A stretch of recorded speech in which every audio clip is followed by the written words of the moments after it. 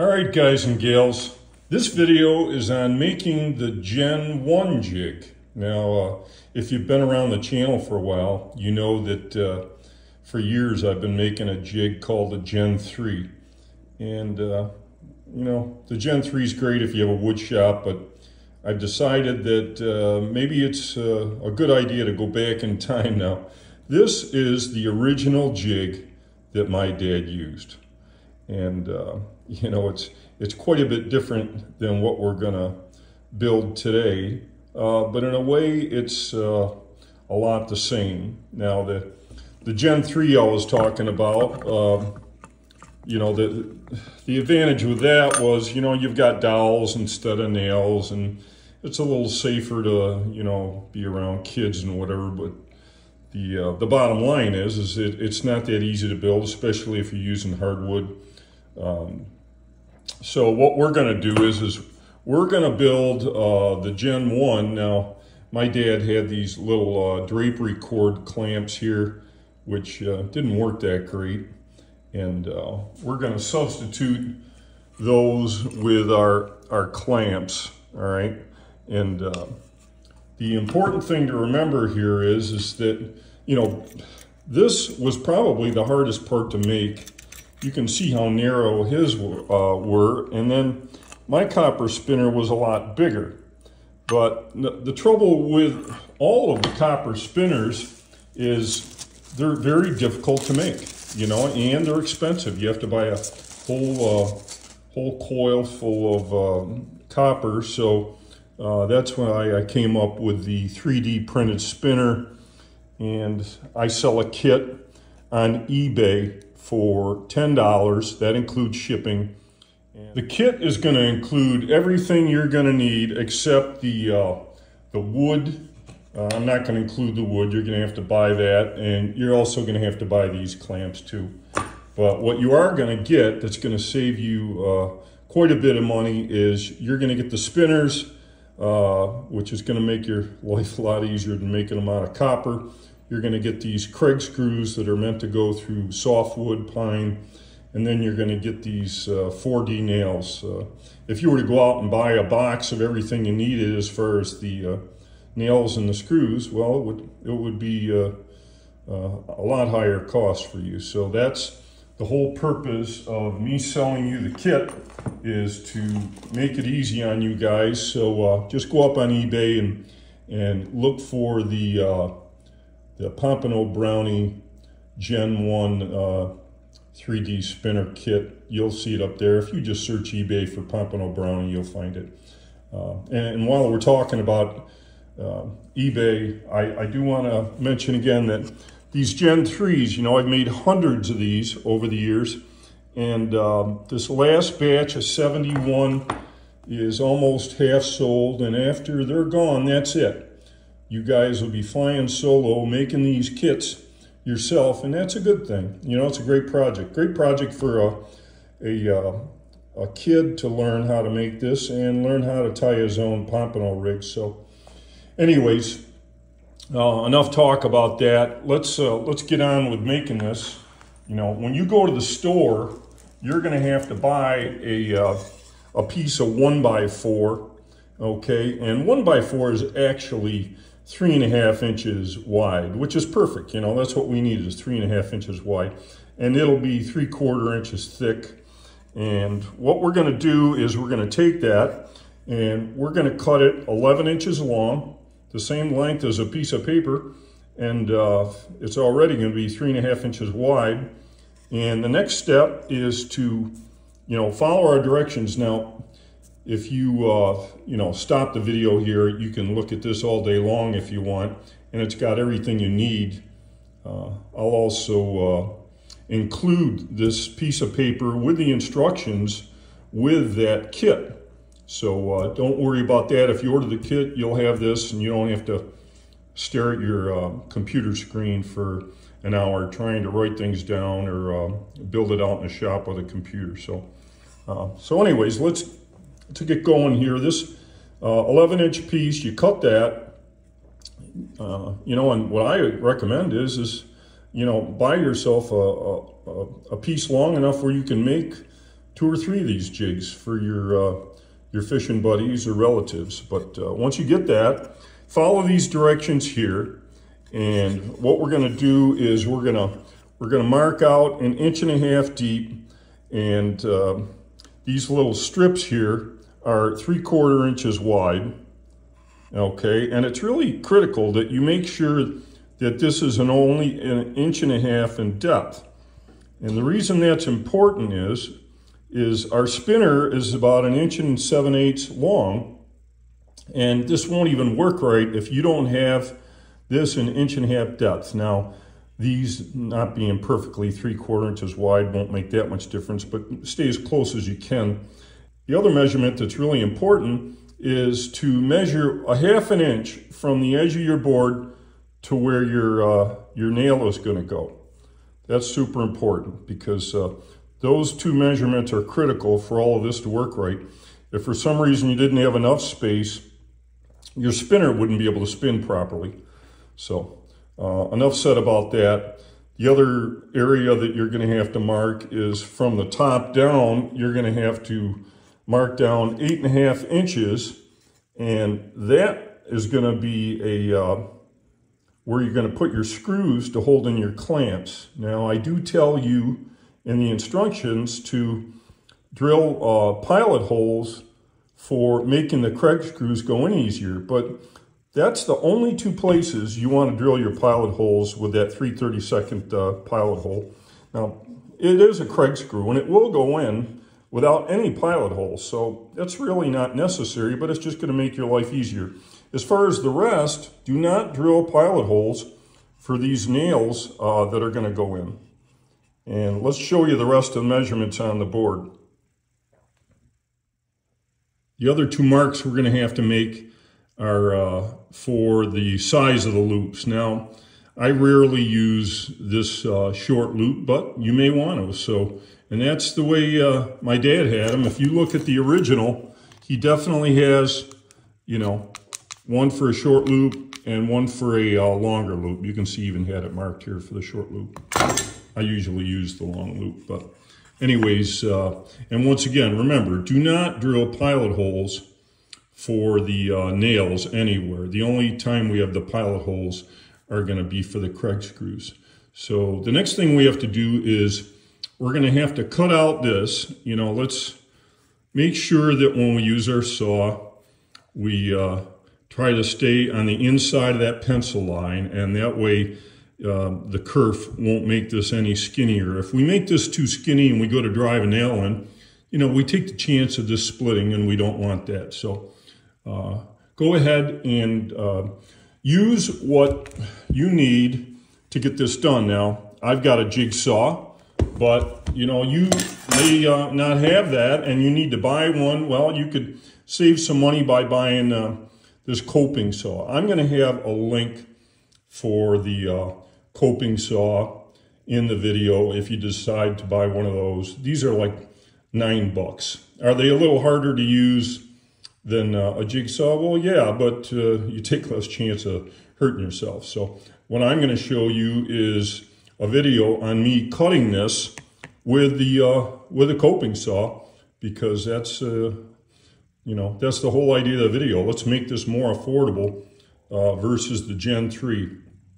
When we get all done, uh, while we're talking about the Gen 3, when you go to use this, the instructions for using the Gen 1 are the same as the Gen 3. So just search my Pompano Brownie videos for using a Gen 3 and you'll be good to go. It's not going to be any different using it. So let's go ahead and get this cut out.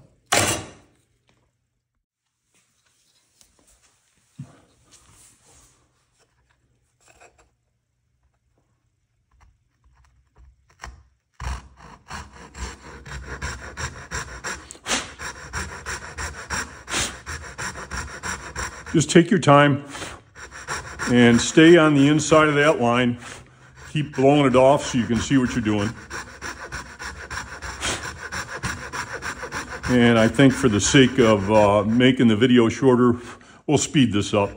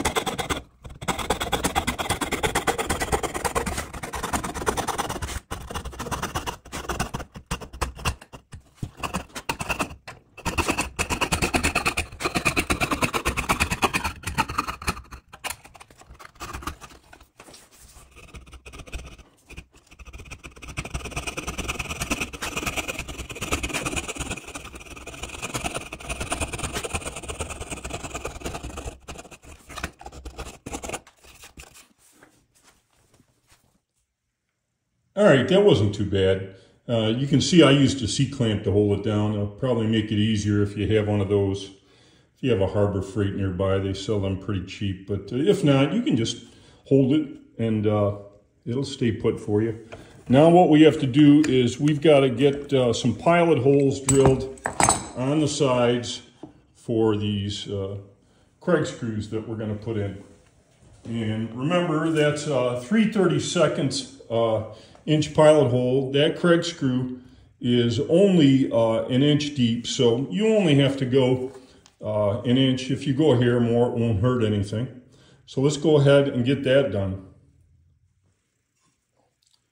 Try to stay right in the middle of your board. Uh, you may find it easier if you take a, a nail or a prick punch and give yourself a little head start on this.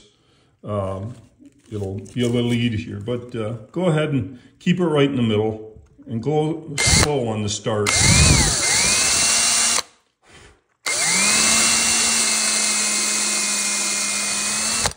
Go slow.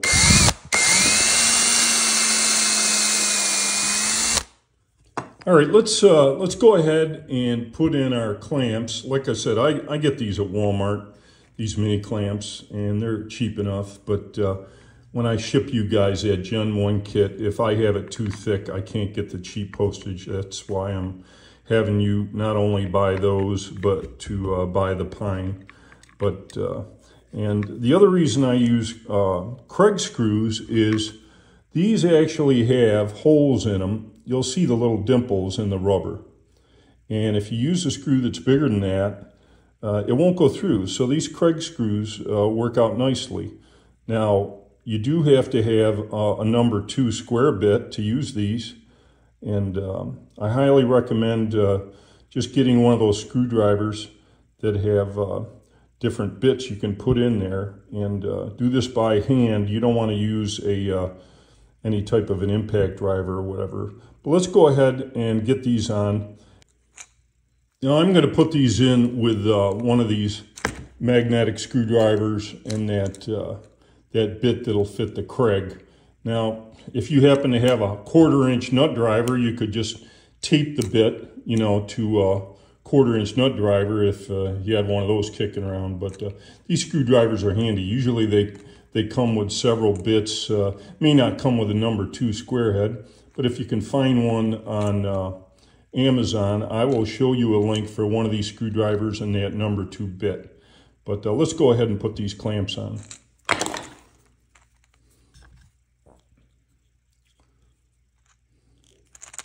Like I said, you're going to be able to put that through first through that hole in there.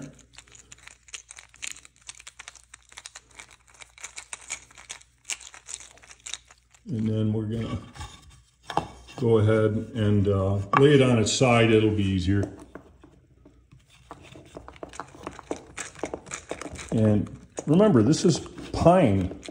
Do not over tighten it. You're, you're just gonna snug it. You go too far, and then you're gonna find that you strip the screw out and you're gonna have to uh, jam some toothpicks in the hole with a little bit of wood glue, let it dry, and then start over and try again. But just get it snug, you know, use your fingertips to tighten it. You don't need it really tight. Okay, that's all you need. And a little tip too, when you're using the jig, uh, always make sure that your clamp is even with the top of the board. You can see I got a little bit of space here and it's going to be easier to use it if you make sure it's at the top. Let's get the other side in.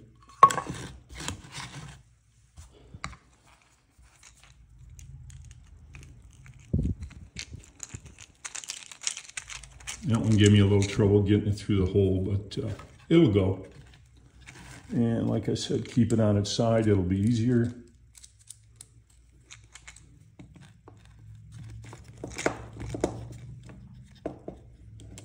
That's where these pilot holes are going to make it a lot easier. And don't sweat it if you go to drill those pilot holes and you're not perfectly centered uh, once again, don't over tighten this. Okay, and that's a little too loose. Let's give it a little more snug. That's good. Uh, yeah, if you're not perfectly centered, that's another beauty of the uh, pilot hole is, is you know, it's, not going to split on you. So, all right, so we've got these in. Just got to get our nails in. Let's get that started. All right, the clamps are in, and uh, what I want to tell you here is pretty important too, as far as putting your nails in. Uh, before you put them in, uh, you're going to take some uh, diagonal cutting pliers like this, and you're going to cut the heads off. Because if we don't cut the heads off, uh, when you go to pull your monofilament off, it's going to give you too much resistance because the head of the nail is a lot thicker. They'll drive in fine, and the other reason uh, we're taking that head off is, is we're going to sand this so there's no burrs before we nail them in. And after we nail them in, we're going to take a sandpaper and a file if you have one and make sure they're nice and smooth, no burrs. Because if you have a burr after clipping, what it's going to do is put a nick in your mono and uh, that's bad news. You don't want to lose a fish over a nick in your mono. So that's important. So when you clip off this head, you're going to stay right close to the head. Okay, you know, I mean, give yourself an eighth of an inch or whatever, but that's at the most. Okay, and cut it. So make sure it's perpendicular to the cutting line. And then uh, have your safety glasses on, and when you get a cut, face it away from you because that head is going to go flying. And anybody around you should have safety glasses on too. Okay and you'll feel it. There's burrs on there. So uh, we'll cut all four off and then we'll, uh, we'll show you how I go about sanding them. You can see that, you know, I'm not uh, leaving much nail there when I'm cutting these off. So don't, uh, don't allow too much space. I like to use 100 uh, grit when I do this. And uh, like I say, this is a lot easier to do. If you were to nail these in and then cut them, you know, you'd have to handle the whole board. So just uh, take these and start running them back and forth, keep turning it, and keep working them and feeling it until all your all your burrs are gone. And then get the top of the nail too. Now, if you have a, a file, well, that's even easier. You know, you can you can use that and just keep working it, feeling it. You, you want to make sure you don't feel any burrs. Once you're burr free, you can nail them in, and then you're going to have to uh, double check after nailing them. Sometimes they'll peen over the edge, and you're going to have to touch these up with sandpaper again. But let's uh, assume we've got these done, and let's nail these in. All right, so we got our starters, and we've clipped our nails. Let's go ahead and tap them in, go slow. You want to keep checking. Make sure you haven't gone up. I can feel it. I went to the bottom. I'm going to give that a tap. You know, you can see I, I put this in a little crooked, but that's not a big deal. I can take and I can bend that. And what you want is uh, you want them perpendicular to the board. So and that's not a big deal. And then we'll go ahead and put the rest in.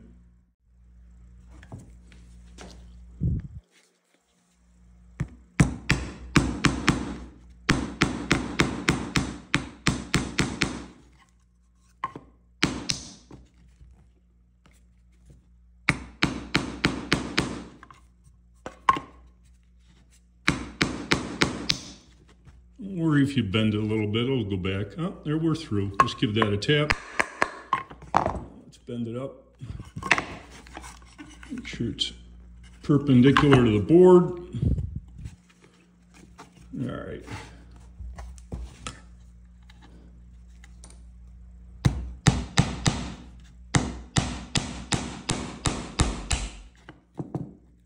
It's a little harder to nail them without the head actually support it with your finger if you have to. All right, and we're through. Let's give that a tap. You can see with that little dot's coming through there.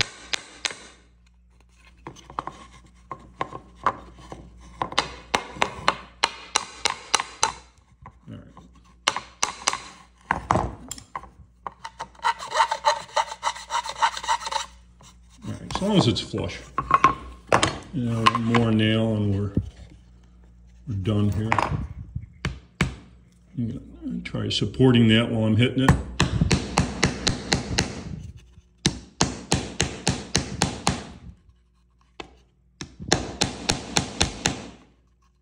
Okay, we went through, let's tap it back.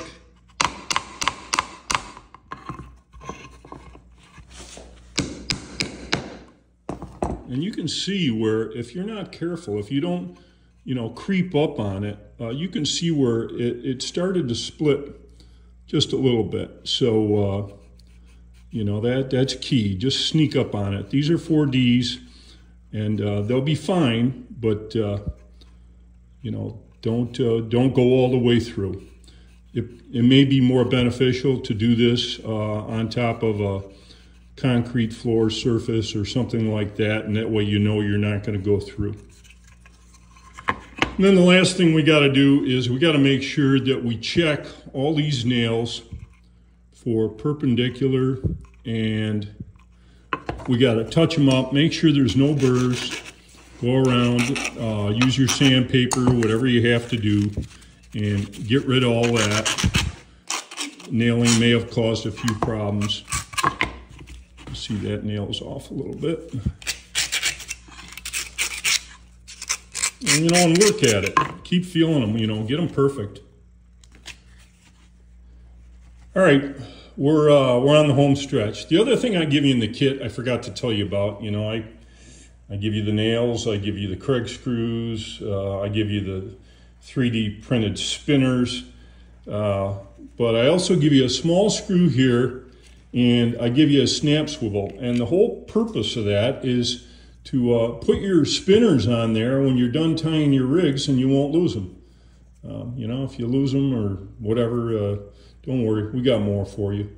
But uh, now I will say that this is a screw and I would, uh, you know, just keep it centered and I don't know, I go, I go uh, maybe an inch and a half or so uh, from the top. And I will do a pilot hole on this just to make the screw easier.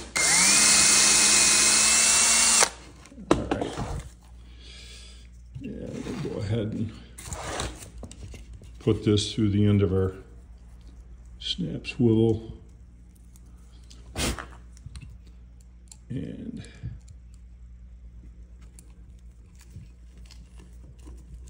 tighten this down so you can still swivel this around and get it out of the way so it doesn't interfere when you're tying your pompano rigs.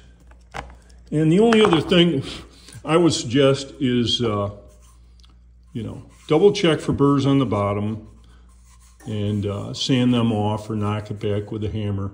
And you may want to write uh, Pompano Brownie on YouTube on the bottom of this because, you know, long after you're gone, if one of your grandkids finds it and they have no idea what it's for, uh, he's going to know to, or she's going to know to go up to the internet and uh, go to the Pompano Brownie YouTube channel and uh, you can even uh, write on there using the Gen 3.